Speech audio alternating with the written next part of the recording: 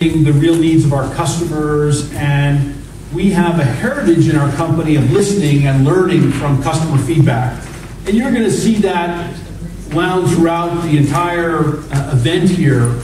But for the last 27 years, uh, we, we believe we've been a company with, with big ears and paying close attention to the needs and wants of our customers. You'll get a sense for how we're doing that with social media and how it's affecting the kinds of products and services and capabilities that we have today as a company. Dell is a very different business than it was five or ten years ago. And as we have seen our customers use IT differently, our business has evolved as well. And you're going to learn a lot more about the kinds of services and capabilities that we have now and the focus that we have on helping our customers really uh, go beyond the product and really create a, a huge impact inside their business. Uh, we started out certainly as a product company. And as those products became more and more powerful, customers wanted us to know more about their business and wanted us to be able to provide a complete solution in the vertical industry that they operate in. And so you've seen a big focus on services and on end-to-end solutions. And so you're going to hear about the new Dell, which is an end-to-end solutions provider. And yes, we still care about the client device.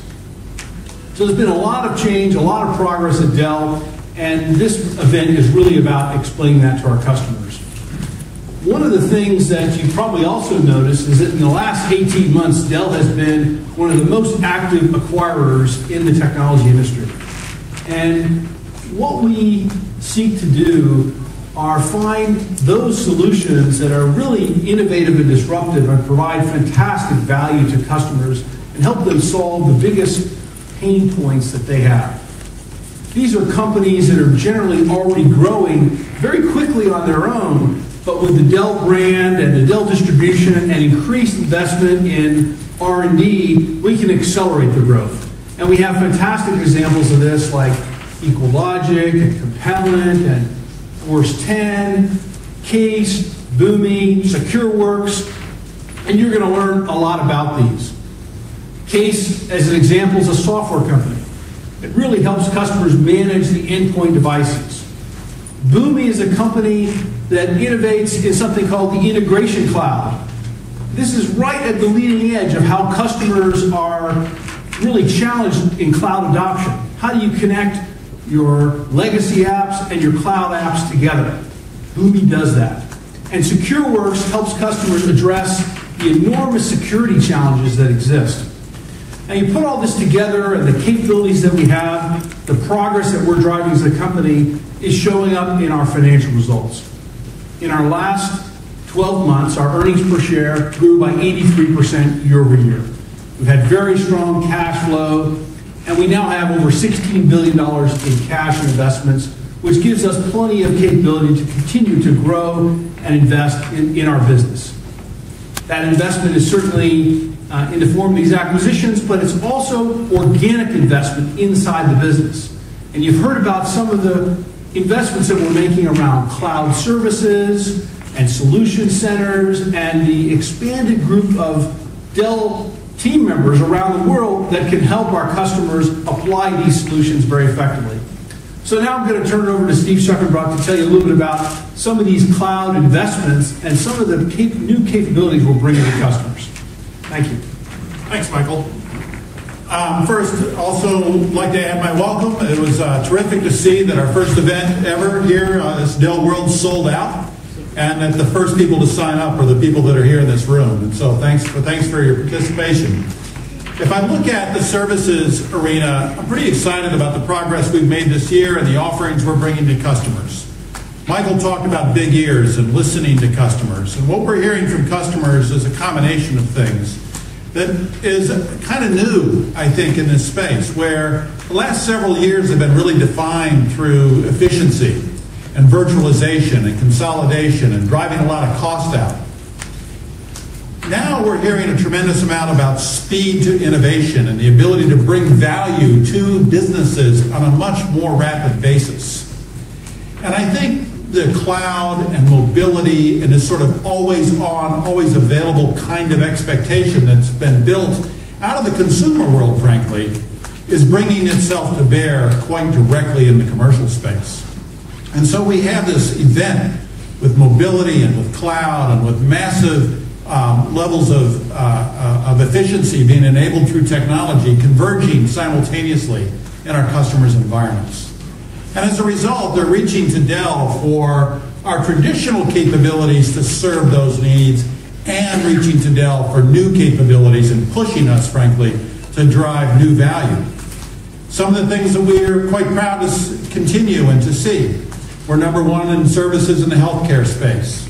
We're number two in the education space around the globe.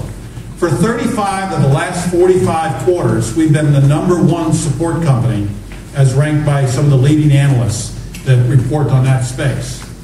When you look at the where some of our newer offerings have been uh, ranked by the analysts, you know, we were really happy to see our service desk capabilities and our distributed compute capabilities ranked in the Magic Quadrant for the first time. And we've got a lot more offerings that are headed, headed in that same direction. So we feel good about the momentum, but more importantly, we're listening to the customers to understand the kinds of capability that we can bring to bear locally in their markets that will help them solve this massive convergence of speed, innovation, and efficiency. So we announced earlier this year we're making a billion dollars of investments in new data centers and solution centers and building out capabilities to serve our customers. We're happy that we've now opened nine of those solution centers. We've hosted um, uh, six, seven hundred customers in those centers and helped each of those customers in the design of a specific solution to their pain points, from storage to networking to data center automation and to the implementation of private clouds. We've also uh, just yesterday announced the opening of our new data center facility that will host cloud architectures and VDAS and capability in the image management space, particularly to serve the healthcare industry in Slough in the UK. Today we announced the opening of our new data center in Quincy, Washington. And at that opening, it is now one of the greenest and most efficient data centers in the world relative to the power and cooling efficiency that serves our customers exceptionally and will serve our customers exceptionally well. And we've already started booking orders against that data center with some large outsourcing contracts that are implementing private cloud architectures as well as with some of the new capabilities around VDAS and the new vCloud offering that we just announced a few about a month ago at, uh, with, with Paul Maritz at VMware. So we're pretty excited about the momentum that uh, we're seeing. We're pretty excited about the investments that we're making. And much, much more than that, we're excited about what the customers are telling us. They're telling us that they want our help in helping them migrate their applications to take advantage of the new architectures. They're telling us they want our help in enabling mobility in their environments and making sure that they can target new types of applications to serve their business strategies more effectively. We think Dell's the company to do that. We're excited to share all of that with you over the next couple of days and look forward to uh, all of the questions and all of the ideas that come from the audience we've gathered here in Austin. So with that, I'll flip it over to Brad. Thank you very much, Steve. Um, when we got together last, probably uh, many of you in May, we, we laid out a, a, a, very different kind of enterprise strategy than what I think our, our competitors are. And we basically set a tone where we're going to drive the most efficient and flexible infrastructure for the virtual era. And that strategy remains the same. We haven't changed it. And we've been uh, very busy here over the last uh, several months here, just continue to execute against that strategy. Uh, we, uh, Michael has alluded to, we have executed against it inorganically, but with the same thing organically. And so when we look at what we've done here, our focus is to continue to drive that differentiated strategy very aggressively uh, and, and, and bring those solutions to market. So we have probably, uh, you know, already this year, we have added over uh, 700 engineers organically, nothing to do with the inorganic acquisition. These are people that you might not uh, uh, you know, thought about Dell. I mean, these are software experts. These are people driving more solution capabilities. And so we're driving this, and, you're seeing us participate much more regularly in much higher value workloads uh, across the entire enterprise. Secondly, we've been extremely aggressive at driving the acquisitions. And, and, and the integration of the acquisition, that's where all the value is created. So since uh, uh, you know we, we closed Compellent uh, February 22nd, since then we've added over 300 people. Again, principally engineers, principally technical specialists we put in the field so that we get closer to the customers, understand the requirements, and drive exactly the kind of solutions that those customers need. Uh, uh, since we met, we've also bought Force 10. And so we're driving the same kind of integration at, on the networking side. And Force 10 brings some of the most exciting top of the rack 10 gigabit technology, distributed core technology, and we think it provides a, a, that missing piece when we look across our, our, our, server capabilities, our storage capabilities, and now our networking capabilities, begin to drive the most efficient, flexible uh, infrastructure for converged solutions, for cloud solutions, for physical, for virtual, for premise, off premise. And unlike the other folks, you know, we don't think it has to be these uh, kind of these, uh, you know, form factor specific type solutions. So we're driving the same kind of tools that work in a bladed environment, in a rack environment, in a tower environment, in a multi-hypervisor environment. It works with the existing investments our customers have already made. Uh, almost 99% of our customers, if not quite 100, are heterogeneous environments. They've made a number of different choices at a number of different layers of their infrastructure stack. And so we're driving solutions that work with them that doesn't require them to rip and replace. And so you're going to continue to see us drive exactly in this direction. We are absolutely committed to open, capable, and affordable. And, and, and you're, you're going to see us uh, bringing things higher and higher up in the stack, solving their much more mission critical problems. And it's just execution, execution. We're absolutely committed to this strategy. And even with time, it feels even more differentiated than what everyone else is doing. And as we interface with customers, giving them the bridge to the past, to the decisions they've already made, to the investments they already made, but a path to the future without creating new silos because you're bringing in kind of standalone, incompatible with what they've already purchased, is resonating very loudly. And so we're on that path and we're razor focused on executing, and you should expect that you know, the moves that we've made, you're going to continue to see us take the ones we've made forward and, and, and, and look for the other gaps that we think are absolutely essential for fulfilling that mission. And with that, let me share it with Dave.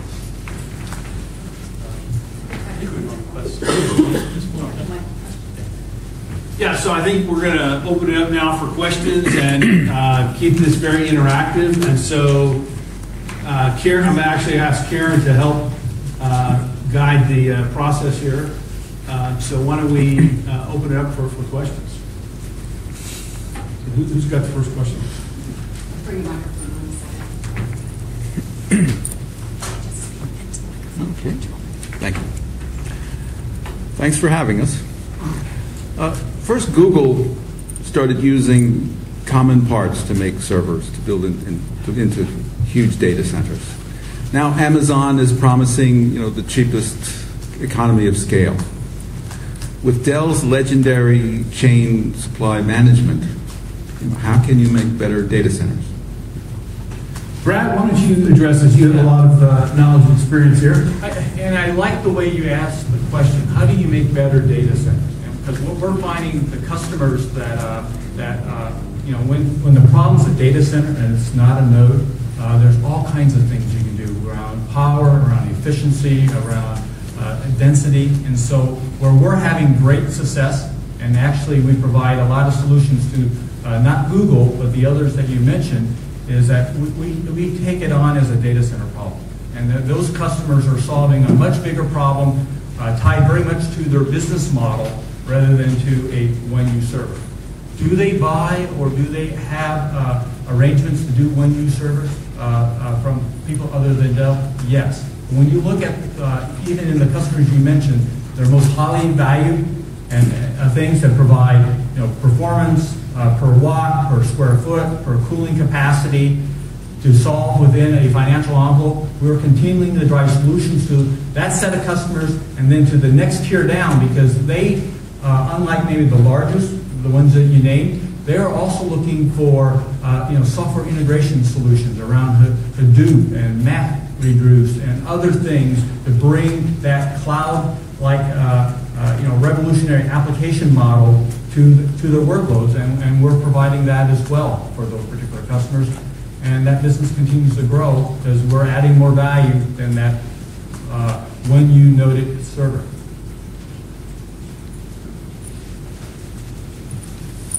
Hi, uh, Computerworld. This is a question for Michael Dell.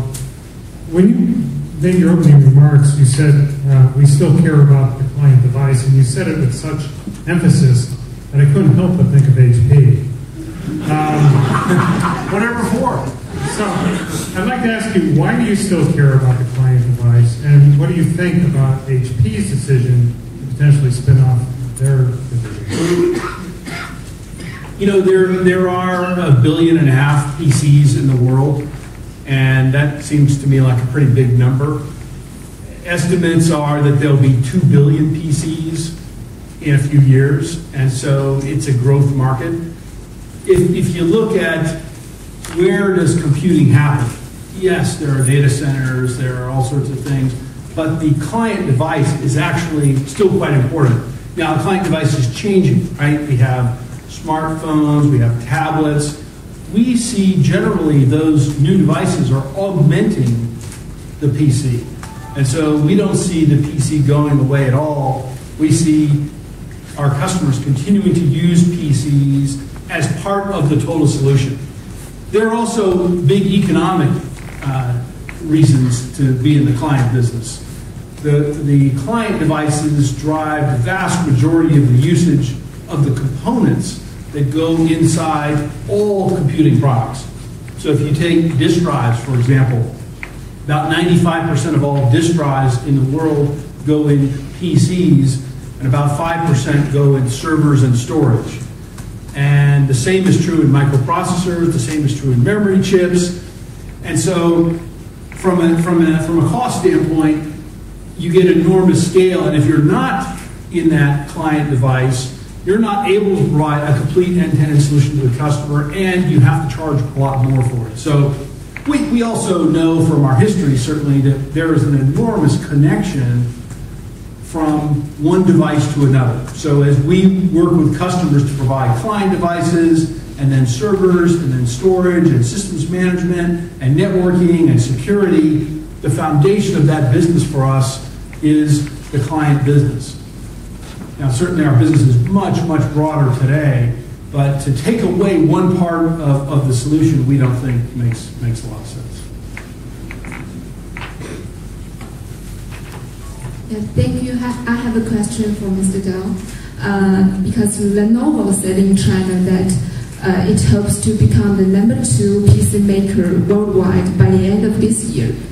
Uh, do you think this will happen? Does Dell feel the challenge and how does Dell protect its position in the PC market? Thank you. I think if, if your measurement is the number of units sold, Lenovo could easily be the number two PC company in the world. If your measurement is revenue or profits, no. uh, we as Dell are much more focused on the revenues and the profits as opposed to the number of units sold. Let me use an example going back to the server. There are many different kinds of servers, right? You could have a server for $500. You could also have a server for $5,000 or for $50,000. Or you could even have a server for $500,000. So what is a unit? I think if you look to the financial results of Dell, you can see a company that's very focused on delivering high value solutions to customers and certainly you see that showing up in our financial results. But Lenovo's a, a, a great competitor of ours. We have a lot of respect for them, and you know we, we have a, maybe a different strategy in terms of providing a complete solution, certainly from the data center uh, perspective and all the solutions that we provide.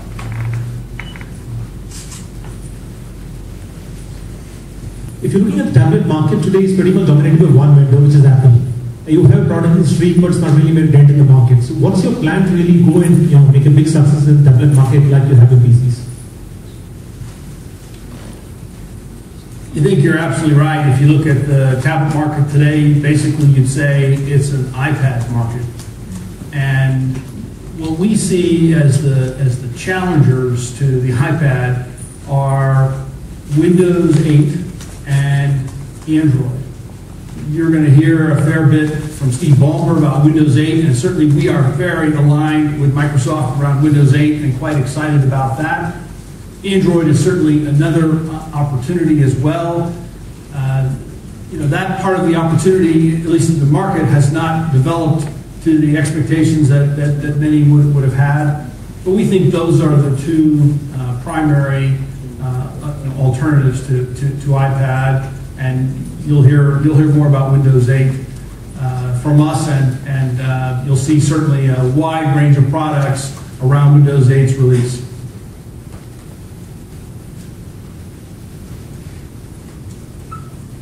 If I can just return to the turmoil and uncertainty theme for a second. Does do the events in Europe um, and the potential for another credit market lockup like we had in 2008 concern the team in terms of you know vulnerability of corporate sales, lack of lending? Is that is that something that's on your radar? Paul, why don't you uh, chime in here and, and give your perspective? Yeah, there's no question that the economic environment in Western Europe and North America, for that matter, uh, some of the public spending uh, cuts that are happening in these markets uh, certainly affect our whole industry and, uh, in our business. We continue to be focused on what is a multi-year transformation in the business and gaining more than our fair share of the opportunities in, in the customer environment, particularly now that many of them are going through a very tough time. We just finished the U.S. federal government year end, for instance, at the end of September. And that was one of the toughest years for our federal customers in a long, long time because of the uh, budget pressure that, that they were under. And we found lots of new opportunities, different kinds of opportunities, where customers were really looking hard at how they could save 10% of their budget, in some cases 20% of their budget, and how we could bring the whole range of solutions that uh, Michael, Steve, and Brad discussed uh, earlier to bear on that. So we're still quite optimistic about our ability to gain share in the parts of that opportunity that are most important to us. But there's no question that the, the market environment uh, impacts our whole industry. Dave, why don't you why don't you chime in here? Uh, you know, Dave Johnson is uh, the middle of this every day, and uh, you know, I think Dave looks looks at together with, with myself and the team about 250 potential acquisitions a year to maybe find uh, the eight or so that we'll actually acquire. I'll let Dave kind of describe uh, little bit how we think about that. Yeah, our philosophy is really about how we, you know, help solve our customers' problems and also enhance shareholder value. So it's a combination of the attributes of the acquired company with the attributes that Dell possesses that in, in, in combination can provide tremendous both velocity and value. And generally what we find of that is that a mid-sized company really can benefit the most by our ability from a brand perspective, as well as our capability, you know, from a sales and distribution perspective, to really dramatically grow that and enhance both the value for the customer and the shareholder. The other thing, as Michael articulated, we're really seeking out opportunities that have a tremendous value proposition for our customers. And there's many of those today because of the rate of pace of change, both from a technical perspective as well as from a business model perspective. But the reality is most of those companies, by definition, are sort of new because these are evolving trends. So there aren't huge blockbuster companies, by definition, that are in the new model of these disruptive trends. So if we want to ride a disruptive trend, provide tremendous value to our customer, and, and yield great shareholder value, it argues that you should find those types of companies that generally are more mid-sized. And that's been really our pattern. With these battle lines being drawn by Oracle and Salesforce and you know everybody else, um, how do you manage those relationships so that you know these kinds of religious wars don't get in the way of serving the customer? I think it, it, might be useful just to step back and think about our industry a little bit. You know, we, the total industry is about three trillion dollars, and there are in the United States about 10 companies that have more than 1% of that $3 trillion. There's no company that has more than 10% of the 3 trillion. And so you actually have an enormous industry that is highly dispersed and it has an ecosystem effect to it that is quite significant. So here at Dell World, for example, we're going to have many of our partners. We'll have Microsoft, Intel, VMware, Citrix, and many, many others. We continue to believe that the industry will work in this ecosystem fashion, and you don't have any company that's really anywhere near having a double-digit percentage of that $3 trillion. And so, uh, you know, we, we happen to be one of those companies that has, you know, that, that, that is one of the 10 that, that has more than, than 1% of, of, the, of the 3 trillion. But there are only, you know, as I said, uh, 10 of them. So are you finding any resistance from your potential customers because they're afraid of going to you for everything? And if so, how are you assuaging those concerns for them? Steve, why don't you, why don't you address this? Sure. Um, first of all, um, Brad did a fantastic job of talking about his overall architected approach, which enables heterogeneity for the exact reason that you have for your question. We do believe customers value their past and the investments that they've made, as well as the things they want to do in the future, and they do not want to be locked into no choice. Our whole design principle is around open systems that allow for choice at every layer, capability that is competitive, if not leading, at every one of those layers, and affordability, which says we will manage to both your CapEx and your OpEx needs, not just your OpEx needs. So we think that's a pretty good strategy, and we're applying that strategy across every element of our solutions. In the services space, we also enable heterogeneity. We have the ability and willingness and uh, desire to support our customers' choices. Now, we will work hard to make sure that the technology that works best for the customers is Dell technology. But we will not take that choice out of their hands in any way, shape, or form. And so we have dozens and dozens and dozens of examples of this. But one of the most acute ones that really brings it home is the work that Brad's team has done around uh, the Scalent acquisition. With that acquisition, we are bringing systems management software that allows for heterogeneity at every level of the stack in the data center and allows for heterogeneity at the hypervisor level. And we bear the cost of making sure all of that works to our customer's choice. And from a hardware vendor standpoint, we're the only ones who have, who have taken that as a fundamental design point to make sure that the sole, the, the sole purpose of your question is honored. Now, we, we also serve 10 million small, medium-sized businesses and I think have a unique perspective on your question from that vantage point. So, Steve Felice, could you kind of address it from the standpoint of, of what you hear from our growing uh, SMB business? Because I think that's an exciting, exciting part of the economy. Well, I, I think the, the difference when you start talking about SMBs is they typically don't have a, an IT expert that's uh, guiding the IT strategy. Uh, some companies do as they get to be larger in size, but most of these companies have generalists, and they seek a trusted advisor, and they value that tremendously. And a lot of the research we've done uh, proves that out. Uh, we started research several years ago that guided our strategy in the SMB market based on feedback from customers that said, you know, when we asked them who would you trust the most for secure solutions, and Dell came out number one. Or who would you want to buy applications from, and Dell came out number one. Uh, and so we started to learn that this direct relationship that we have with them and the fact that they are generalists guides us to want to be a full service provider. But the, the, the other big difference is that the solutions we provide have to be uh, simple to use. And that's what we've stressed in, in the acquisitions that we've done. KACE is a terrific example of when a company gets to be 50 or more employees and they need to start tracking their assets and the software that's on and the changes that are needed. Uh, in the past, they'd have to hire a fairly expensive talent to do that, uh, and it would be a pretty manual process. And with KACE, this is a product that's very cost effective, but most important, it provisions in about two hours, and it doesn't require an IT expert to maintain it.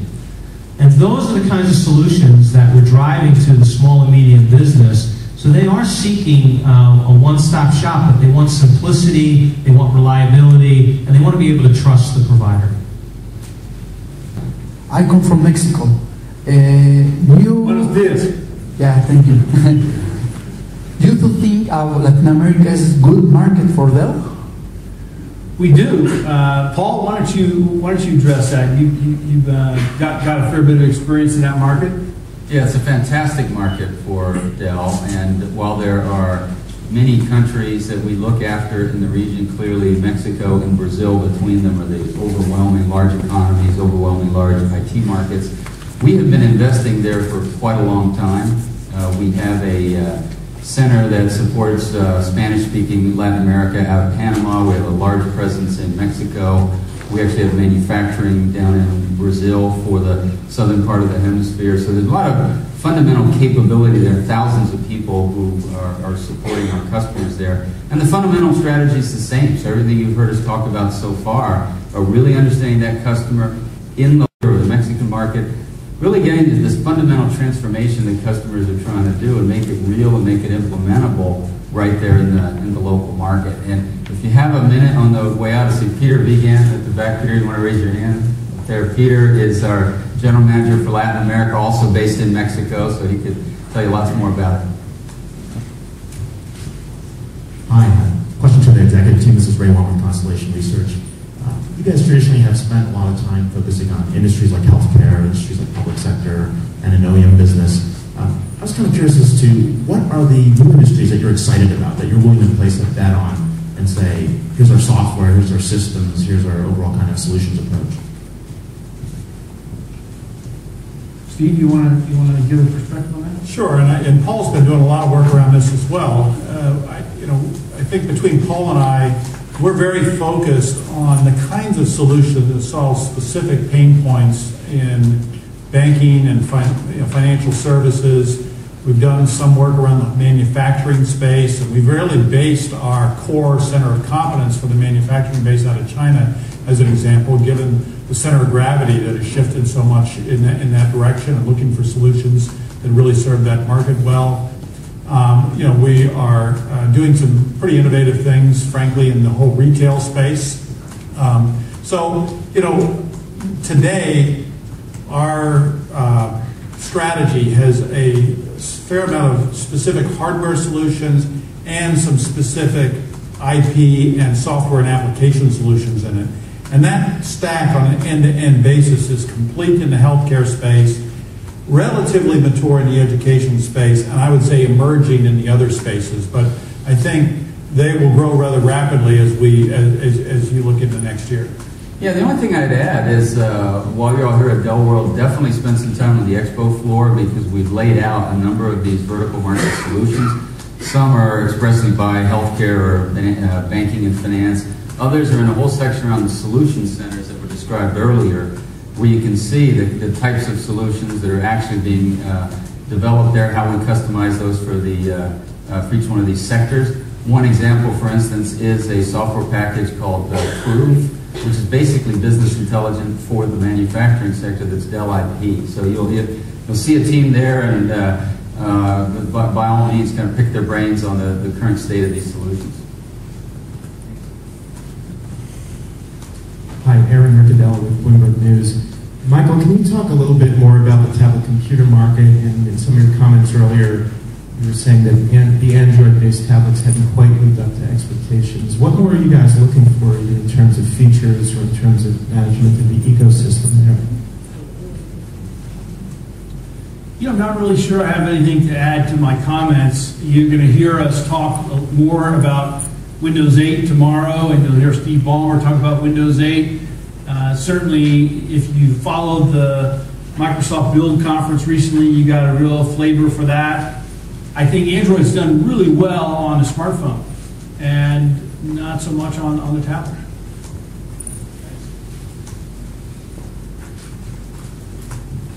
Uh, I'm from TikTok, Germany, I have three different questions. First one is about the data center of the future. How will it look like? Uh, for example, regarding um, energy efficiency, will it be all uh, pre-configured containers or, um, let's say, Exadata-like um, machines? That's the first question. Yeah, so the data center of the future, there's a lot of data centers of the future because our customers have a lot of plans. Uh, we today already ship containerized data centers. We have a number of very large customers, actually, uh, some of them not so large, where they have requirements that have want them to have rapid computing capabilities almost instantaneously. And so you've seen these containers, literally they're like shipping containers where we can stand up 2,500 servers fully configured, networking, power, infrastructure. They can actually be cooled by ambient air, so there's no, no elaborate uh, you know, cooling technology necessary, and provide that capability. Uh, and we've done that quite recently where it's from kind of order to data center deployment in a matter of a few weeks, which is just pretty revolutionary. What is really exciting about that, and we just stood up one in, uh, in Vegas on a roof, now, in Vegas in the summertime, it's a little bit warm. And so this is on a roof, ambient temperature, and so there's, no, again, no elaborate cooling, and, and, and it works quite well in that environment. So you can imagine if you put it in Vegas, we have we stood up another one in Colorado, well, it kind of rains a little bit there. I mean, and so this is a pretty fascinating thing. The other thing is we have, and it goes back almost to this, uh, you know, uh, data center question. Uh, we have a system that uh, in these containerized, where the PUE, which is power efficiency index, meaning a watt comes in and how much of that watt gets translated into real workload capabilities versus being kind of wasted in infrastructure, a PUE of 1.05. That means almost every watt in drives to constructive work. And so that's the kind of value that we're driving, and, and, and, and the containerized allows help customers respond to their business opportunities uh, so much quicker. Also, a lot of uh, businesses still have their doubts about how secure and insecure the cloud is. How do you address that? I, I, I questions about cloud, cloud security, and cloud adoption. Right. Yeah. What kind of clients come to you for cloud? Sure. Um, basically what we're seeing in terms of the requirements from clients today is a tremendous amount of interest in cloud overall as a topic and implementations that are private. We certainly have instances where customers want to use the public cloud for really low security need. You know, it could be a dev test or that kind of environment. But for production workload for our commercial customers, the request is very much around private clouds. Now, it's a little bit of a unique animal in that a private cloud implemented for one customer, they still would like to have the flexibility to be able to take advantage of capacity, but not pay for that capacity when they're not using it. So that cuts a, cuts a little bit against the grain of private clouds. The way we're approaching that with our customers is, and we've got education customers who have huge spikes during registration periods. We have customers that are in the cloud that have huge spikes during tax season and variety of other different offsets. So by selling to those customers a standardized configuration and a standardized approach to the cloud, where the processes and the tools and the technologies are interchangeable from one private cloud to the next, we can bring a fair amount of flexibility so that your volumes can, can go low and spike high. And we can bring some of the, the variable um, uh, pricing methodologies to bear in these private, if you will, multi-tenant kind of cloud environments.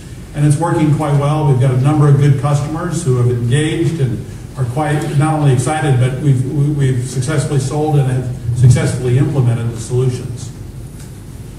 And over the past few years, Dell has embraced the channel more and more. Would like to understand what the vision is of the future and the go-forward strategy in working with the channel. Thank you. We have made a lot of progress there and really pleased with the growth of the channel program. You know, we'll have by the end of this month 100,000 channel partners, and that is a big change from three or four years ago.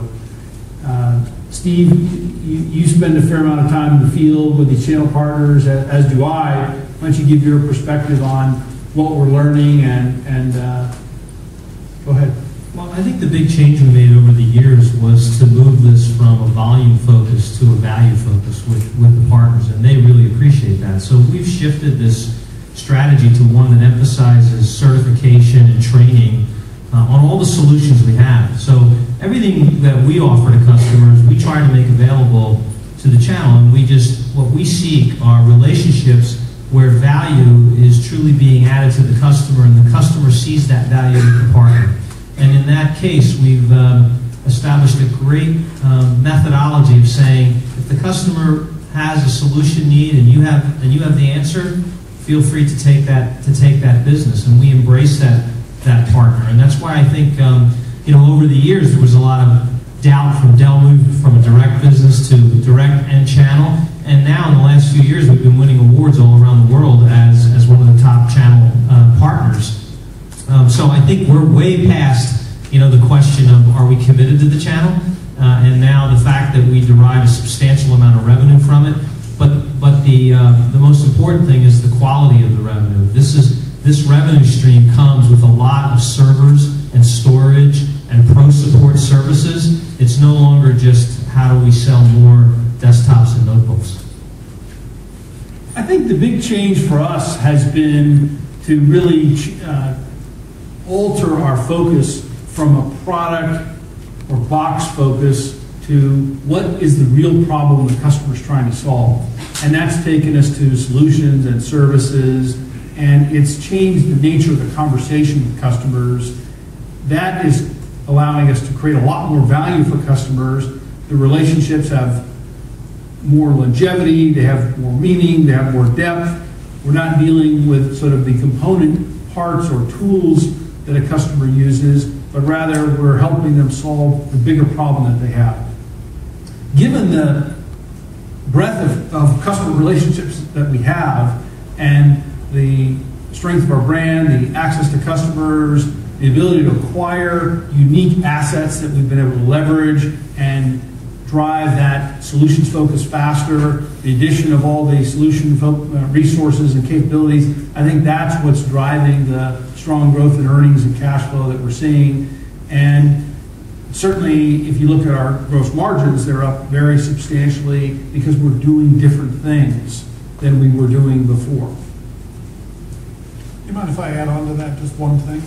You know, something Michael and the team talked about from the beginning is, is, you know, we've never been distracted. We are an x86 company.